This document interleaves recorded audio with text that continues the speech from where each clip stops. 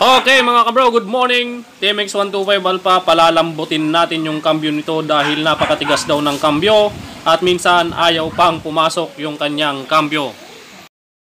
Yun o, galing Gimba to na kuya. Ah, galing Gimba, pero galing sa San Miguel, Bulacan. ah, San Miguel, Bulacan. Galing sa San Miguel, Bulacan, umuwi si kuya sa Gimba. Ayan, so dinala niya tong ah, Alpha 125. Tinanggal ko lang yung sidecar mga bro. Pandaring ko muna, nakalimutan ko ng pandaring kanina. Hindi ko kasi nadala yung cellphone ko, naka-charge. Okay, shoutout muna kay kuya. Ayan o, Tam Gimba. At kay kuya, nanagan mo kuya? Mel. Yan, kuya Mel at si Kuya Raymond. Yan. Shoutout mga kabro, mga boss kabro. Ayan o. Ah, pandarin muna natin. Hindi naman siya gaanong maingay mga bro. Medyo mayroon lang siyang ah, medyo kalampag tapos lagitik. Lalo na pag mainit na, yon. Masyado nang malagitik mga kabro.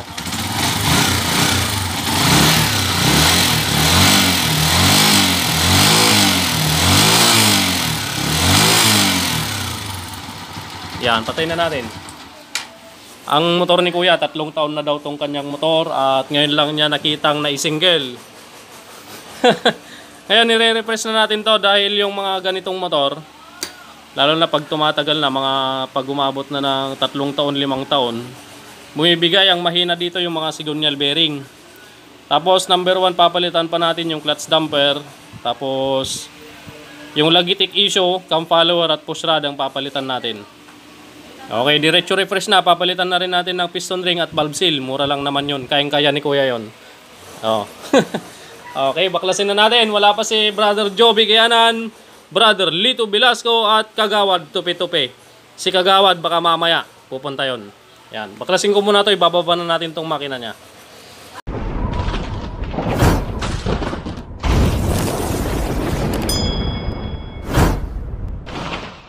Okay, nababa na natin yung makina mga bro. Ayan, nabaklas na rin natin yung cylinder head at cylinder block. Yung sinabi ko kanina na number 1 na papalitan natin dito. Clutch damper, maingay. Ayun o, kumakalog na. Tignan nyo. Kakalogin tong housing. Oh. Malakas na yung kalog. Kasing lakas ng kalog ni Kagawad. okay, baklas na. Tapos mamaya, pag nabaklas na natin dito, susunod natin yung signal bearing. Che-check natin mamaya. Yan. Baklas muna tayo mga kabro. Alright, nabaklas na mga bro. Nabiyak na natin at eto na. Sasabihin ko na yung mga papalitan natin mga kabro. Ayan, number one signal bearing. Yung sinabi ko kanina, dalawang bearing ng signal. Goods naman yung connecting rod. Tapos clutch damper. Tatanggal ko na yung clutch damper mga bro. Ayan o, tinanggal ko na yung clutch housing. At bibili na lang tayo ng clutch damper niyan mamaya. Tapos, ano pa? Nasaan na yung one? Center gasket, nasira mga kabro. Nasira yung center gasket. At isa pa dito, piston ring lang sana yung papalitan natin. Kaya lang, eh, chinek ko tong kanyang block. Ito, tong sleeve ng block. Okay, so maluwang na yung sleeve. Tinanggal ko yung mga ring mga kabro. Yan, tinanggal ko yung mga ring tapos tinesting kong i-shoot. Ito, titingnan nyo. Tingnan nyo mabuti mga bro. Shoot natin. Ayan, nalalaglag na kusa. Oh, maingay. Maririnig mo yung piston yung pagbagsak niya sa simento. Yan. Okay, kapag ganyan naman, yung piston dire-diretsong nalalaglag, wag na kayong ah, magdalawang isip, dapat iparibor nyo na. Pero kung disposable yung block nyo, sigurado palit block yan. Okay? So sa mga ganito naman, eh pwede namang iparibor, kaya paparibor na lang natin. Ayun, oh. Sa mga magsasabi naman, sisikip din yan kapag nalagyan ng piston ring. Yan, totoo naman sisikip. Kaya lang yung piston, yan, maingay pa rin yan. Kasi isa pa yan yung magbibigay ng ingay. Isa pa yan. Piston lapping. Lapping ba, brother Lito? Or piston clapping. piston lapping, yan. Hindi siya piston knocking ha, piston lapping. Yan. Oh, kaya gaya nung ah, video ni Sir Capro TV. Yung eh, yung block ng roser, Maluwang na, kagaya nito kapag sinushoot nyo yung piston. Yan, nalalaglag kusa. May nag-comment sa video niya, palitan mo lang yan ng piston kit, sabi niya. So ngayon, bumili siya ng kwan, bagong block. Tapos, bagong piston kit. Yung bagong piston kit noon, nilagay niya dun sa lumang block ng Roser, yung Kawasaki. Yan, sinut niya yung bagong piston doon sa lumang block. Kagaya nito. Ganon pa rin yung resulta, nalalaglag pa rin ng dire-diretso.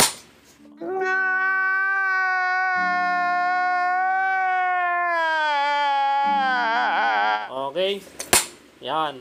Kaya kahit palitan mo ng piston kit to na bago, tapos yung black, yun pa rin ang gamit mo, ganun pa rin ang kalalabasan. Yan, ganyan pa rin. Kaya dapat, kung hindi ka magpapalit ng black, rebore na lang. Yan, para mas maganda. Para hindi ulit-ulit yung trabaho natin, mga kabro. Okay? Kita nyo naman, oh. Oh.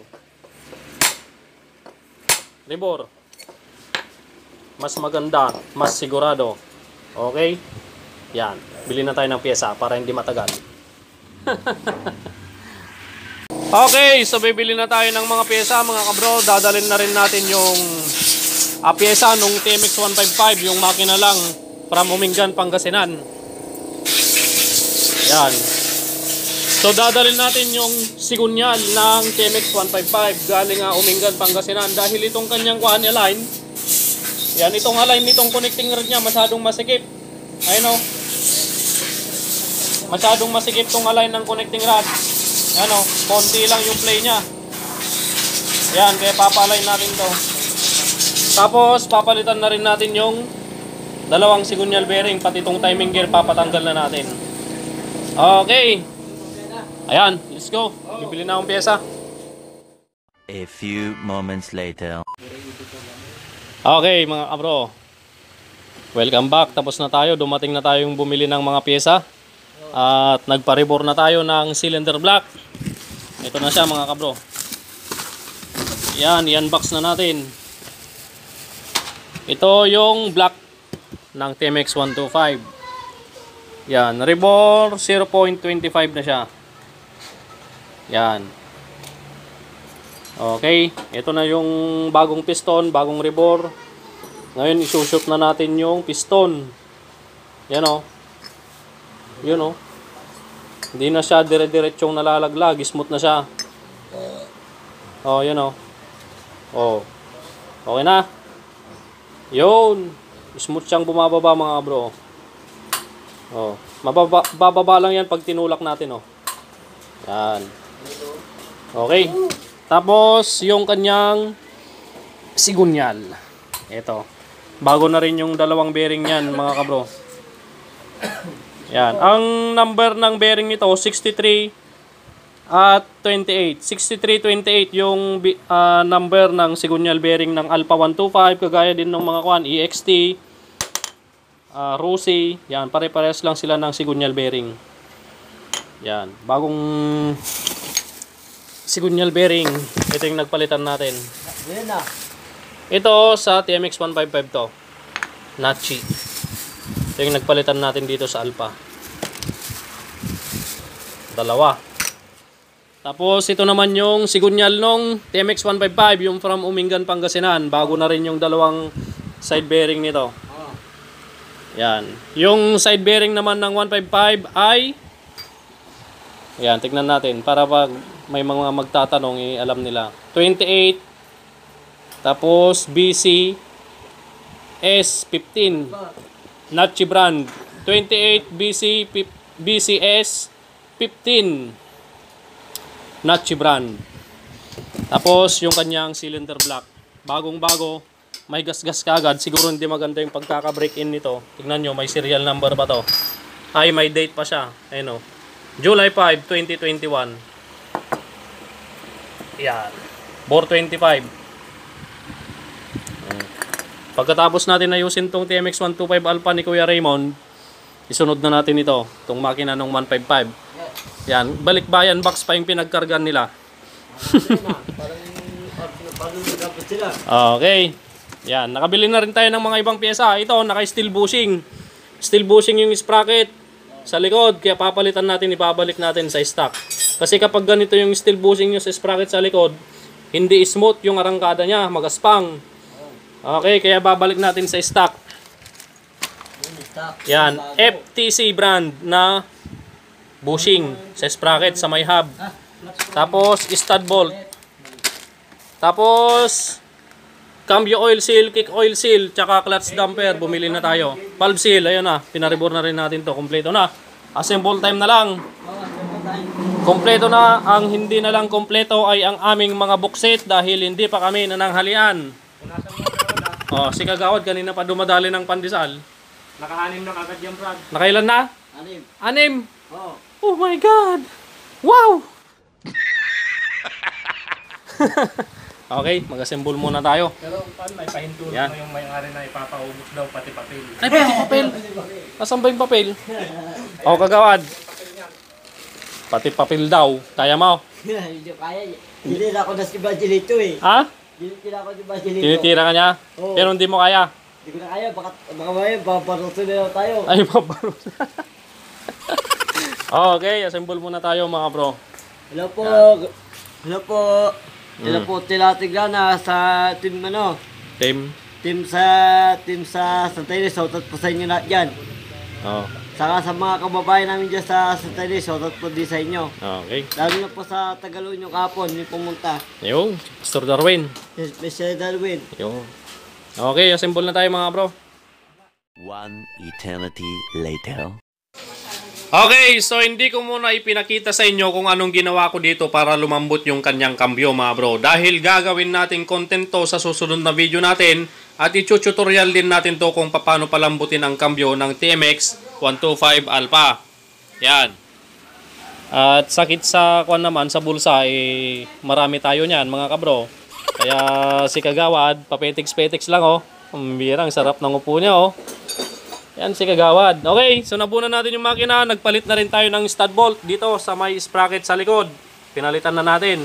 Sinuggest ko na rin kay Kuya Raymond na palitan namin dahil yung steel bushing na ganyan, eh may bad effect yan pag tagtagal. Alam nyo kung anong sisirain yan, countershaft axle, pilot bearing. Yan. So naramdaman na rin ni Kuya Raymond yon yung ano kuya. Oh, may bad effect. Hindi siya smooth. Kaya yan, pinapalitan na natin. Okay, start na natin, brother Lito Velasco. Brother Lito Velasco. Start mo na. Nay, Yung mga ginagawa eh. akala, akala ko sisipain niya kagawad. Pinadiklan niya eh. Ayan na mga bro. Pinadiklan niya eh.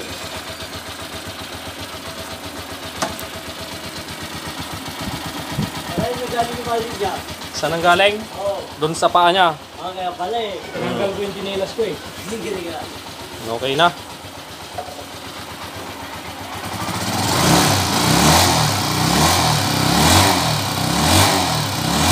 Bro, yung yung screw doon hindi mo na inigpitan. Ba, hindi naman malalaglag yun eh. Pag nalaglag, dyan lang sa loob yan. Ano naman siguro aakyat nakapunta sa kwan. Oo. Niluwagan namin yung Phillips screw dito sa loob ng air cleaner. Ayaw, hindi daw maluwagan ni Kuya, kaya ayun, niluwagan ko lang. Oo. Hola.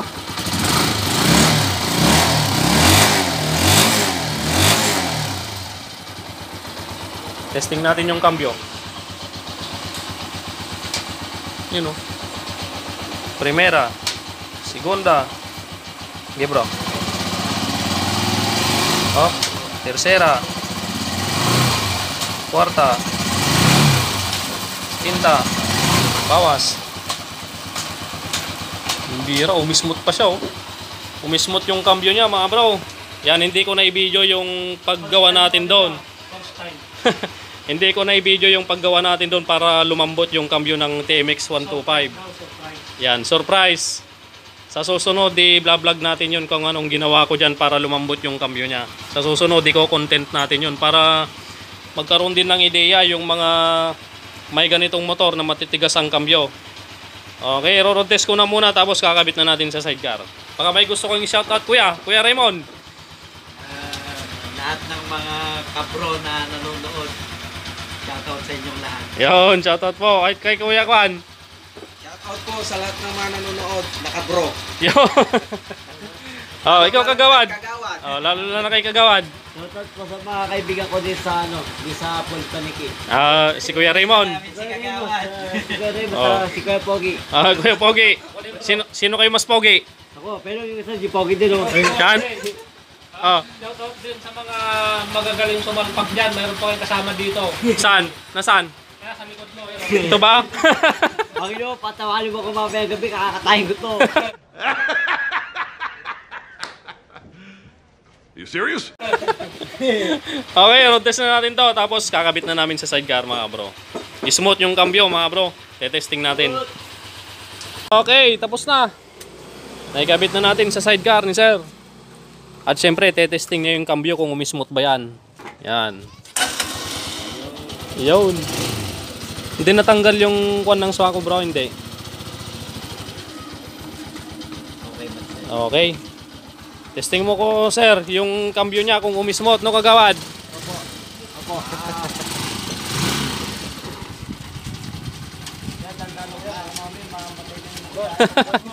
Ayun pa lang mga kabro, dito pa lang primera, sabi niya, oo nga.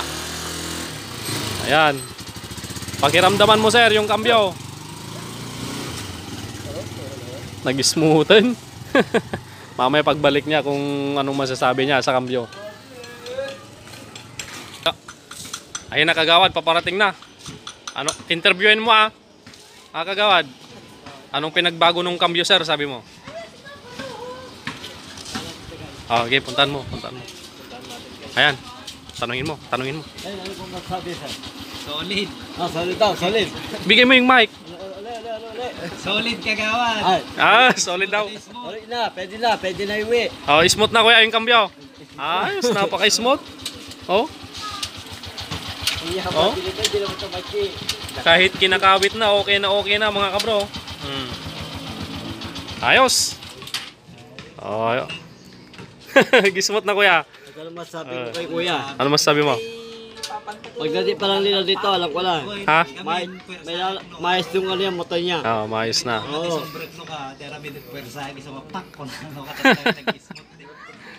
Oh, ngayon, kay-smooth na kinakambyo. Oo. Hmm.